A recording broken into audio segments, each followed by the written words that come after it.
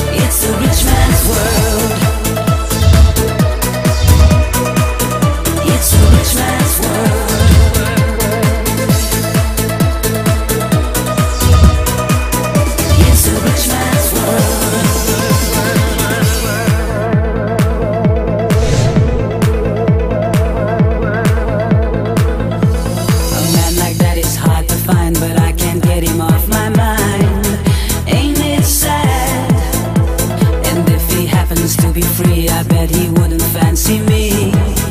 That's too